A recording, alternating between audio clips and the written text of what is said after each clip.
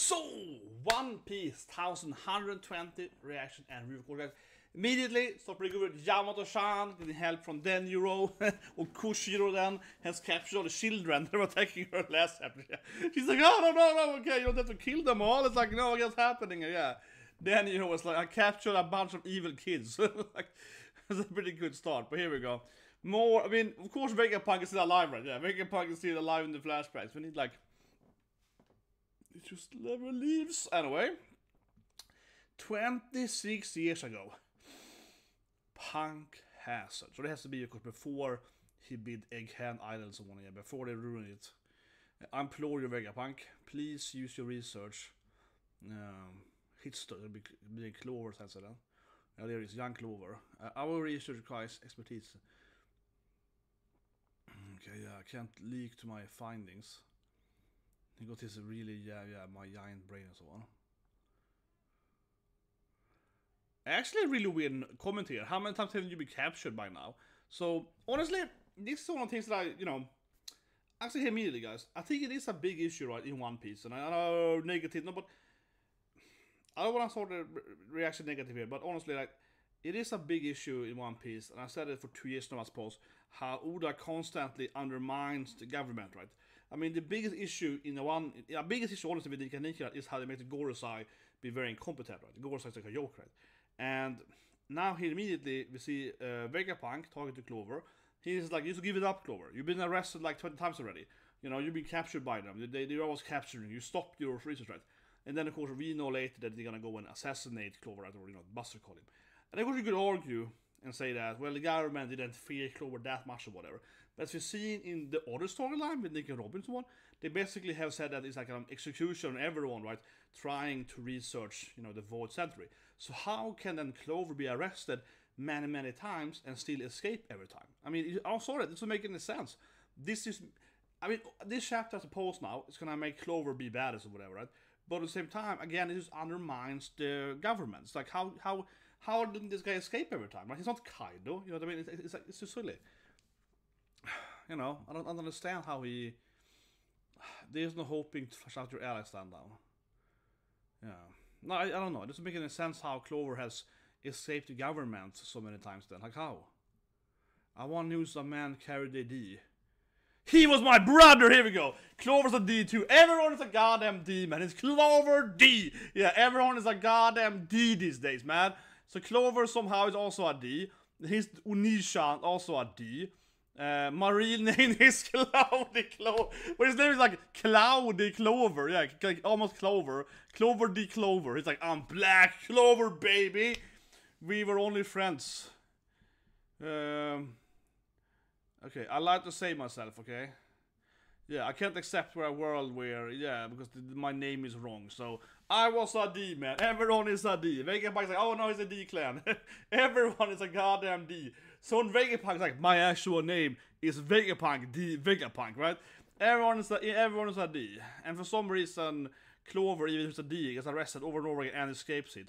But, um, Vegapunk is like, yes, I understand. You're a D after all. Stay safe, D guy.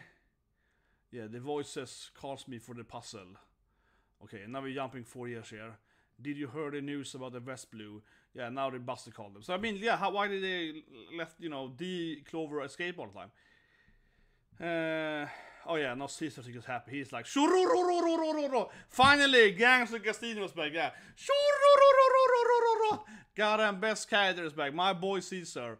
Yeah, he's just like, you idiots. they got what they deserve. He, of course, is fun in that D, D, D Clover and Nico D Robin and so on. Yeah, they're all, you have most.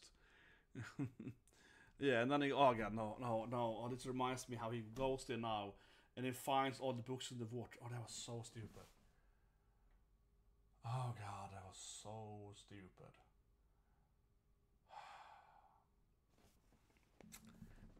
Egghead Island is constantly used Oda shitting on the government, yeah. Uh, Saul's alive, that's dumb, right? Clover got arrested a billion times and somehow escapes every time, doesn't make any sense whatsoever. And also that D also escaped that. So, he was crying over his like dead dead brother's body, and then they asked him, "What's your name, boy?" He's like, "Oh, not D, okay," and he ignored him. Like doesn't make any sense. And now we have to also remember that Vegapunk can go find the books in the water, right? Because the government, after the Buster Call, just didn't check the water, even though they saw them throwing the books into the water. They just ignored it. I mean, like every Clover flashback just makes the storyline worse. Yeah, it's just, it's just, it's so much. It removes so much tension, right? That the Gorosei and so on are completely pointless. Yeah, they're so terrible for the job. But anyway, you choose that where was passing on your research important. Uh, Vegapunk is crying. Yeah. The voice of the past once called you. His story is writ- written by the victors. He's back and explaining stuff, but yeah, of course they skipped over what the D was. Uh, and the words, and then we see uh, back to that Nico Robin place where she was at, like that br- bridge thing. See Seth, and the words of the vanquished are usually cast into ocean, be sent to again. Uh, yeah, yeah, stars alive. Uh, for my part, I'm leaving. Is he finally gonna explain what the D is? It's not good, we can't, yeah. The old Kent Tower is coming after us, we have to jump right. They're finally gonna buster call. Well, yeah, Lil- Lilith is smart. She said, we can, I'm, I'm calculating stuff here. She's the smart Vegapunk, yeah. we can't jump, I'm a Vegapunk. And then we see her ass, very nice. the best thing we tried so far is that Lilith constantly butt shocks. Every part is like, okay, this Lilith has a lot of fan service. Yeah, that's the best part of this whole arc, man. You see Lilith bending over there. Yeah, very good, very good. Oh, Atlas is here. Atlas Shan comes in here and goes after the Centaur.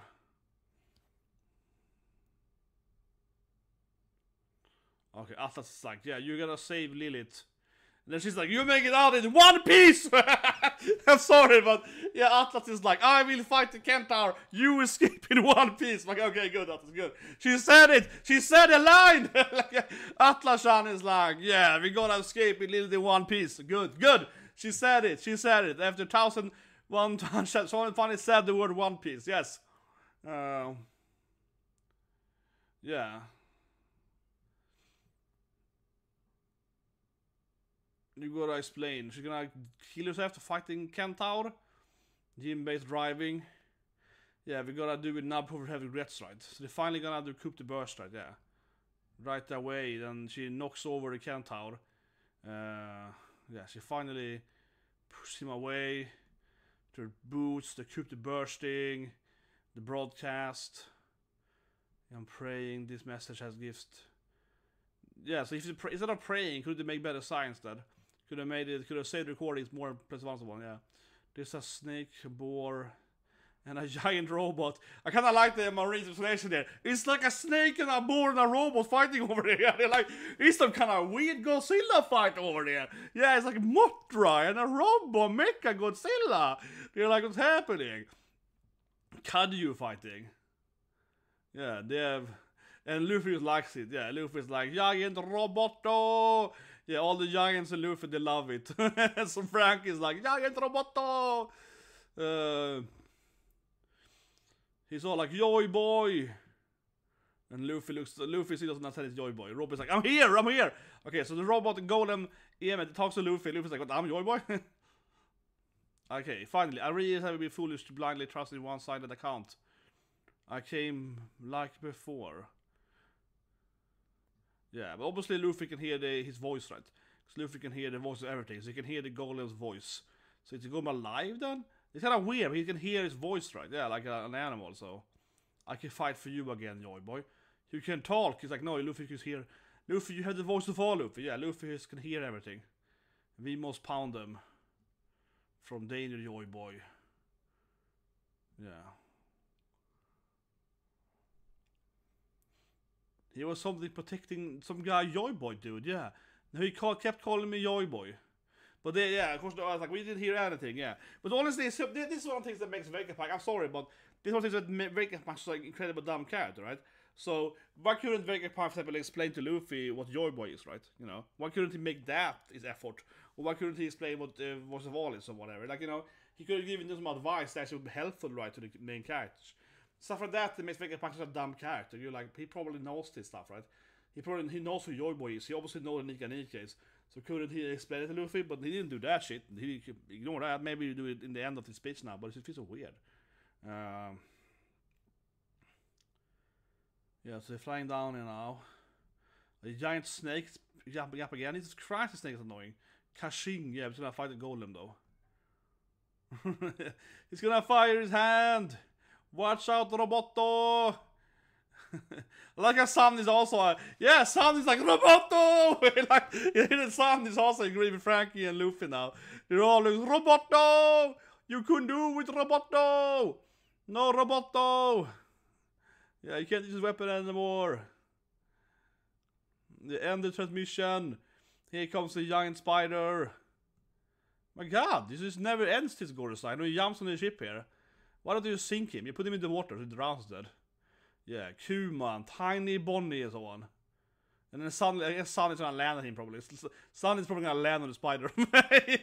they're like, yeah, we're going down! yeah, Sora's like, I got this guy. Uh, here comes, there's this fight Atlas over there. But it's sad Atlas is dying here. No, I'm just letting a hand. Then she explodes or something. I don't know. Atlas is also a bomb or something. I don't. I guess it's like a robot too. Right? She's like, I can also explode. So Atlas is like, yeah, I got a nuke inside my body or something. What? You know, it's a double spread. Okay, I want to say the last page here. 25 years ago, the pirate Gol D. Roger, yeah, okay, zoom in here, achieved. Uh, to read? Achieved the unprecedented by yeah, getting through the globe. It only works of you, right, Atlas? I have no doubt that they heard the whole thing. Atlas signal is gone. It finally happened. Yeah, the I am the last Vegapunk. They're probably gonna destroy her as well now, guys. You let to say far too much. Yeah, they're incredibly competent. The Gorosei. yeah, incredibly competent. I am confident you all have come to conclusion at this point, and I anticipate that that you will ultimately determine how things transpire in the future. Yeah. Did you say Gol D. Roger? They must have read the heard the voice of all. They must they must have heard the voice of the past from the different from the purest source possible. Yeah, Joy Boy. This time you spoke of. Right, Joy Boy? This honestly I think is terrible. I'm just gonna I mean I'm I mean I'm just I'm hating now these days. But no, but this is just a nonsense, right? Oda has spent like basically a volume now, just wasting time on Vegapunk because this again is just pointless bad pacing. Like Vegapunk is a filler character. I keep saying, so last I said again here, Vegapunk is the worst Oda's ever done because look at this chapter again right?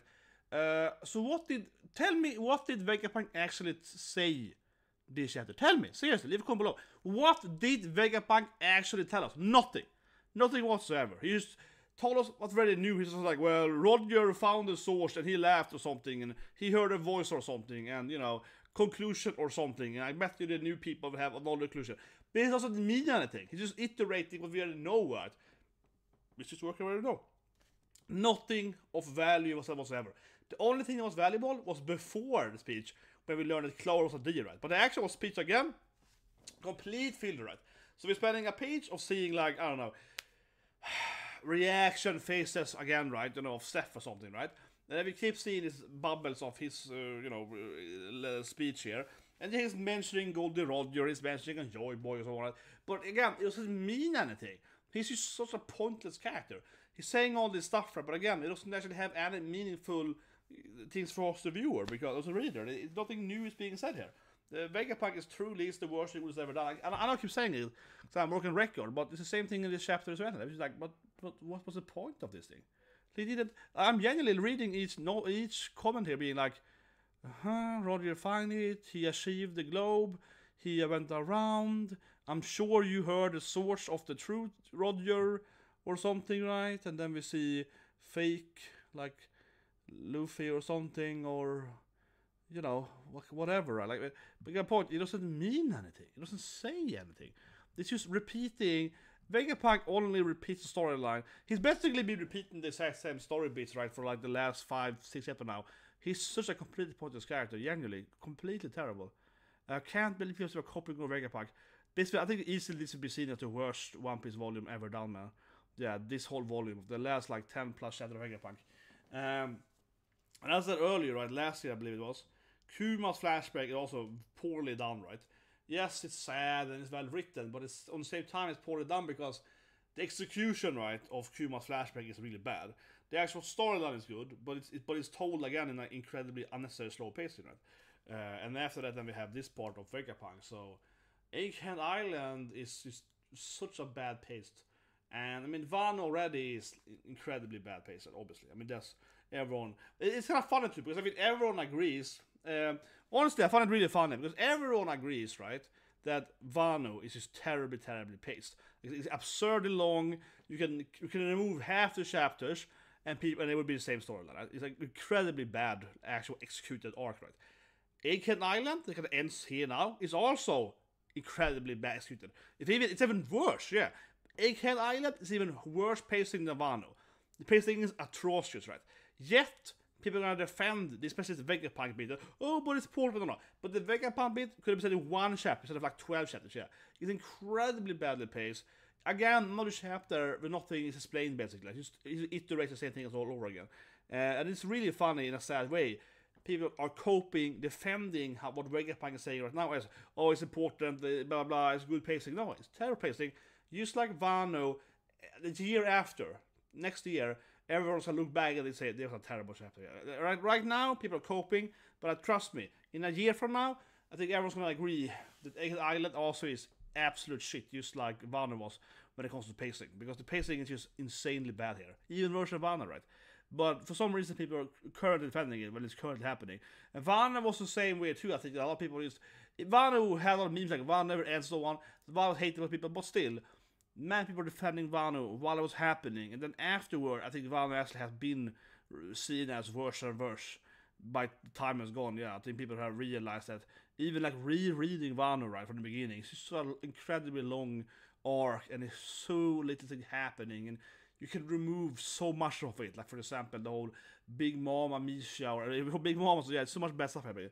And Egghead Island is the same thing. You could remove like two of the Vegapunks. So you can remove this speech can be cut down by like 10 chapters and so on. It's just, it's really, really strange. But honestly, the chapter, it was cool seeing the robot fight. Everything with the robot was great. Yeah, the robot is a good character. Uh, and of course, he and Luffy can communicate uh, by voice of all, just like Luffy can talk to the Zunesha and so on, right? So yeah, so he can have, so that's a very important thing. The Luffy has that chosen power. And I guess that's not related to actually being Nika Nika. That's just a thing he has, right? So, I mean, Luffy is really chosen one, right? A way. He's born with Conqueror's Haki, and also this voice of all that, that Roger also had, right? So, it feels like you almost basically need to have the voice of all to also save the, the planet in that head, right? Because whereas you can't communicate with all these different monsters or so on, yeah, or this giant stuff, Godzilla, whatever, you would need to have the voice of all for that. Like Roger also had. I mean, otherwise, it doesn't seem you could actually do much with Golem and so on, right?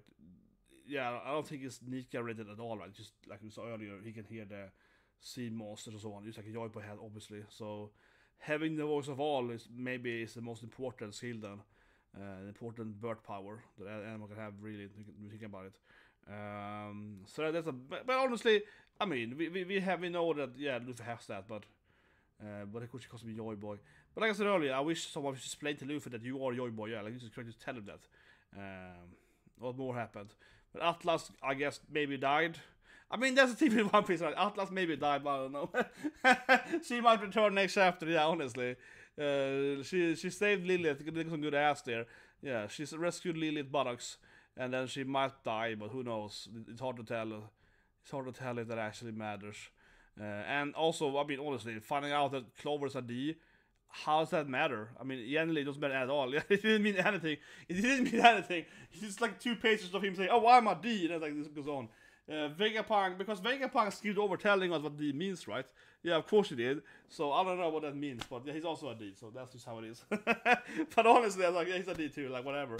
And if you subscribe, press the like button, and have a great day.